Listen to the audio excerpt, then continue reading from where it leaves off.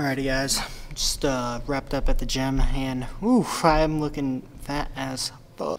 But anyways, just wrapped up some uh, legs, light work, baby. But um, nothing too crazy, just some legs. We're gonna go probably do a deload next week and uh, allow your legs to recover. Deloads are 100% necessary. I at least every six months I maybe take four to five days off from lifting, and it just allows you to rest and recover and kind of reset in a way.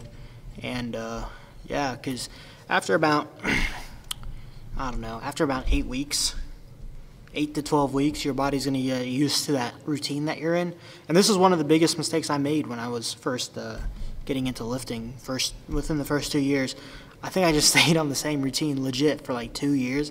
Crazy. Um, and I was like, why after a year and a half, two years, am I feel like I'm not progressing? And I'm like, I'm an advanced lifter and all these crazy things. But the truth is, you just need to deload, take some time off, allow your body to recover for uh, a little bit longer than normal. And that's why I went over in that one video why two rest days can definitely help you. But um, two rest days in a row can help you. So yeah, um, I'm gonna get that leg day video uploaded like soon, hopefully this weekend. And yeah, guys, so please like, subscribe.